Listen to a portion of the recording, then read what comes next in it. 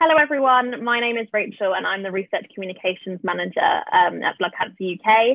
Uh, and I'm joined today by Dr. Helen Parry, who is a Senior Research Fellow at the University uh, of Birmingham and a honorary consultant as well. And Helen is carrying out some research looking at vaccine effectiveness into CLL, um, and she's come to talk to us a little bit more about it. Um, so, Helen, over to you. Would you tell us a little bit more about your research, please?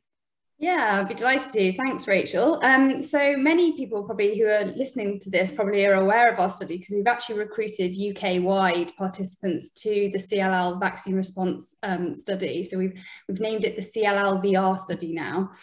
Um, and the idea is that we wanted to try and capture um, a broad look at across the UK how immune responses to the vaccination schedules um, reflected really amongst patients with CLL compared to um, patient, uh, people without CLL.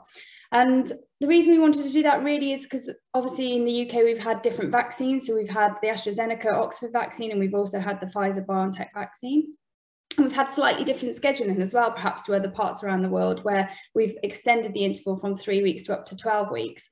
So we've recruited a large number of patients, so around 500 um, patients have taken part in this study and we're really grateful. So thank you very much for everyone who has helped us. Um, and we've asked patients to either um, send in a blood spot test to us, um, which we can get antibody data from, or if you are local to us in Birmingham, we've actually gone out and got a blood sample. Um, and from that, we can tell a little bit more. So we can tell antibody responses and also cellular T cell responses, which is like the other arm to your immune system. And so far, we've released the results on the first 299 participants that took part. Um, and that really uh, reflected 267 results that were following one vaccine and 55 uh, participants who had actually had both vaccines at that time point. Um, and what we actually found was in following the first vaccine, it's around 34% of participants had a response, um, but that compared to around 94% in healthy donors. So the response rate was um, quite markedly reduced in, in participants that had CLL. And then following the second vaccine, encouragingly, that response rate increased and we saw that hovered around 75%, um, but that compared to 100% that we saw in, in healthy donor controls. So aside from the proportion, the other thing we've been looking for with those results is looking at the actual magnitude of the, of the antibody response. And there we found that that was also lower in, in participants who had CLL compared to our control, um, control donors. So the other thing we were really trying to tease apart, and I think more of this will come in the next paper when we have a really um, comprehensive look at the whole 500 in the cohort, is what the differences are in terms of like the schedule, the vaccine type, and also what treatment stage patients are at. Um, but already we're sort of starting to get a signal, and I think other papers that have come out looking at this disease as well are corroborating these results to suggest that perhaps um, patients that are on active therapy or um, particularly like the Bruton tyrosine kinase inhibitors, their response rate seems to be slightly lower. But again, this is only looking at antibody responses so far. So the cellular data and looking at the T cell responses may tell a different story. And that's what we're working on currently in the lab at the moment to try and get the whole picture, as it were. Yeah, uh, I think I, I think it'll be really interesting and we have that that kind of data on the full 500 who have had both both doses. Um, yeah. When when can we expect to see that? When can we expect to see more? So the antibody um, data, which um, will be available for the whole 500 cohort, because obviously we can get that from that dry blood spot test that I mentioned.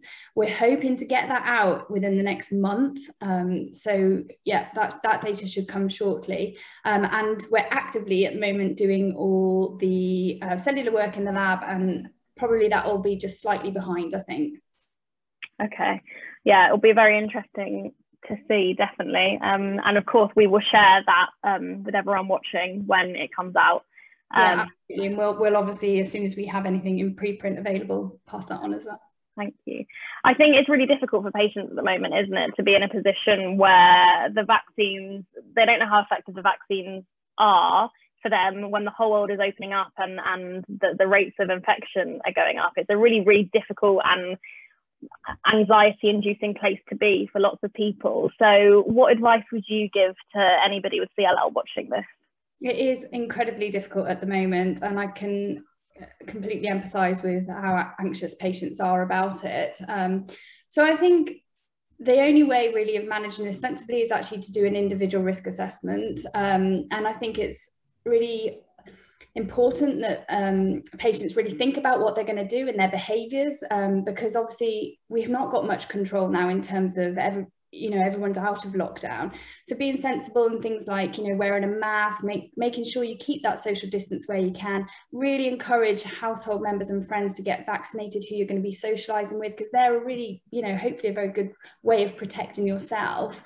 Um, and obviously in, in sort of things like where you might take a mask off if you're going out for dinner. Perhaps again you know think about your spacing at, the table and and in comparison to say going for a walk in a field with your friends who have been double vaccinated that you've got to just sort of think about the kind of risk risk benefit I would I would say in that situation. Um, and then the other thing I'm really trying to emphasize to patients is they think that they're going to get um, you know, if they've been exposed or they're developing symptoms is really to let us know because I think the earlier that we know, the better. I think that's really, really helpful advice. Um, thank you for that. Uh, and thank you for joining us. And as I say, as soon as we know more, as soon as we have more results from um, Helen's research, we will definitely share them with all of you. Thank you very much, Helen. Oh, thank you. Thank you for inviting me.